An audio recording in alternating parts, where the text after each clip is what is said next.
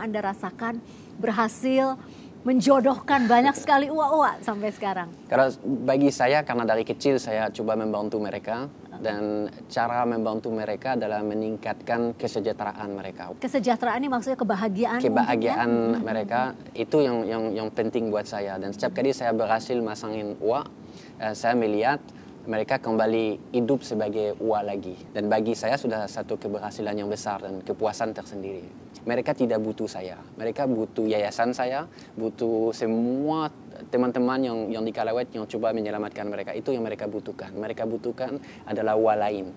Di situlah sangat penting untuk menemukan pasangan yang tepat. Seperti kita, kita tidak akan bahagia kalau kita sendiri seumur hidup. Kita akan betul-betul bahagia di saat ada orang yang tepat di sebelah kita.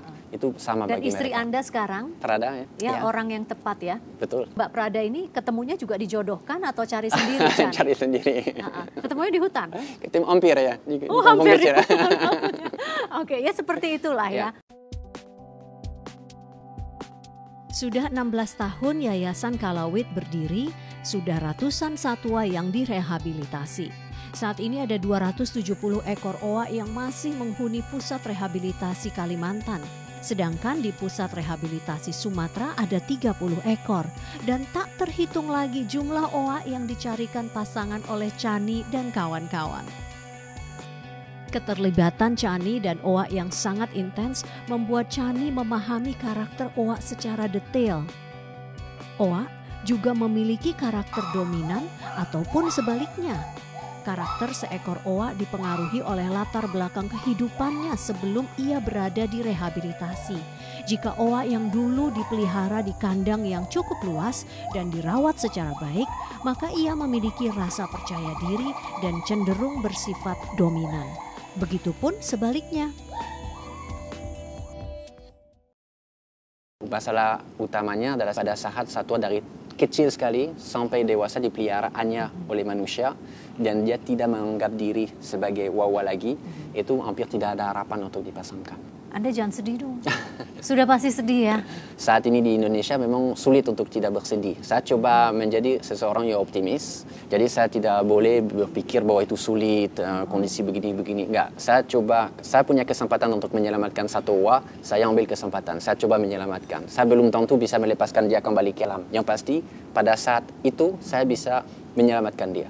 Saya lakukan. Cane dengan kondisi yang seperti ini, apa yang masih tersisa yang bisa Cane lakukan? Keinginan saya adalah membantu pemerintah pertama untuk menyelamatkan yang sudah em, dilindungi dalam undang-undang. Minimal taman nasional, hutan lindung, dan cagar alam, semua yang sudah di atas kertas dilindungi, cobalah untuk benar-benar dilindungi di lapangan. Saat ini dengan lemahnya penegakan hukum, makanya ada ribuan, 6.000 ekor uwa yang masih dipelihara masyarakat saat ini Sumatera, Jawa, dan Kalimantan. Dan di kawasan konservasi pun belum tentu satwa liar seperti uwa aman.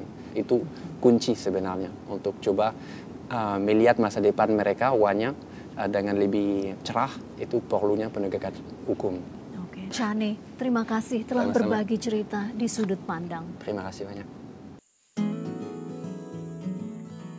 Tak hanya owa yang memerlukan comblang untuk mendapatkan pasangan. Dari Kalimantan Tengah kita menuju kota Bulungan, Kalimantan Utara untuk menemui seorang penghulu buah-buahan.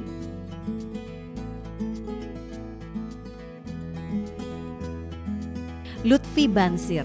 Inilah doktor pertanian lulusan Universitas Brawijaya Malang yang telah 17 tahun mengabdikan diri pada dunia persilangan tanaman buah.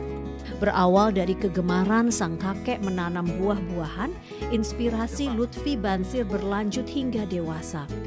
Di kebun milik pribadinya yang ia gunakan sebagai Horticultura Research Station ini, Lutfi menanam berbagai jenis buah sebagai objek risetnya. Tak kurang sudah, Lutfi menghasilkan 14 jenis semangka tanpa biji, 170 jenis nangka, 30 jenis jambu biji, dan 40 macam durian. Kebun seluas 2,7 hektar yang terletak di belakang Pasar Induk Bulungan, Kalimantan Utara ini, setengahnya ditumbuhi berbagai pohon nangka cempedak hasil percobaan persilangannya. Anda ini disebut sebagai penghulu buah-buahan. Apa maksudnya ya Pak? Ya, penghulu buah-buahan itu maksudnya saya mengawin silangkan tanaman-tanaman gitu. Jadi antara bunga jantan dengan bunga betina dikawinkan lalu kita dapatkan hasilnya.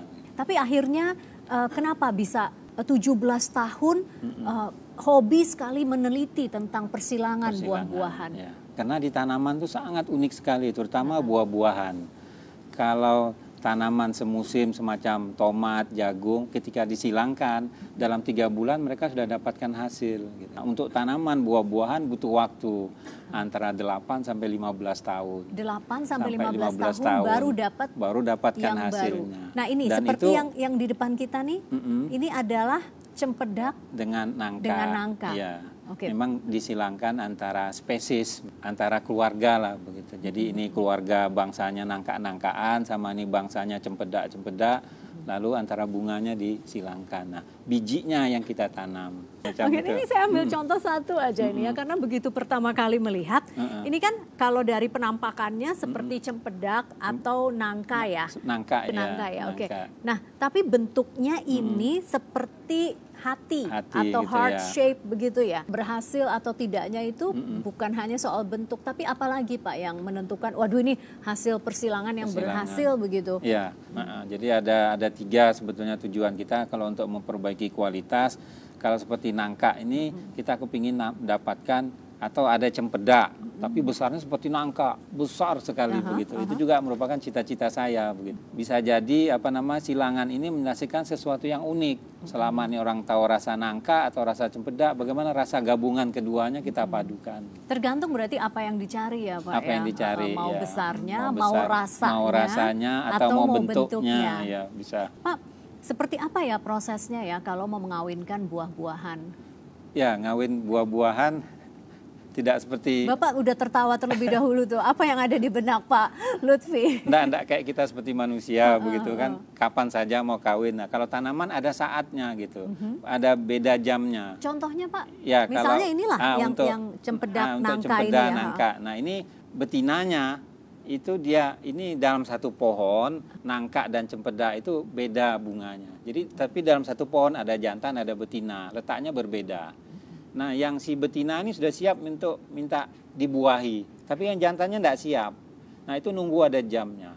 Jadi kalau yang betina itu mintanya sudah jam 6 sore dia sudah apanya sudah buka, tapi yang jantan belum siap untuk nyerbu.